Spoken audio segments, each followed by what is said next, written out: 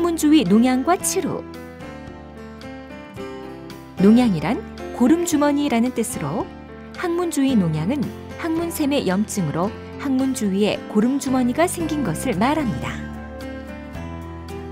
그리고 치루는 항문 질환을 뜻하는 치자와 샌다는 뜻의 루자가 합해져서 만들어진 말로서 고름이 항문 주위 피부로 배출되고 염증이 가라앉은 다음 항문에서 피부로 연결되는 작은 누공이 생긴 상태입니다.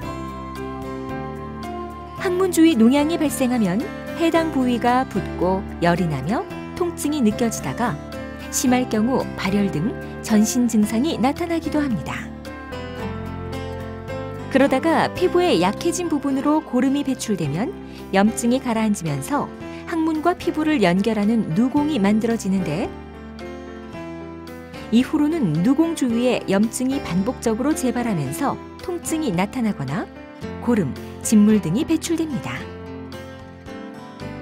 항문 주위 농양을 초기에 치료하지 않으면 염증이 깊어지면서 치료가 어려워지고 합병증이 발생하기 때문에 무엇보다 정확한 초기 진단과 함께 고름 주머니에 대한 신속한 절개와 배농이 필요합니다.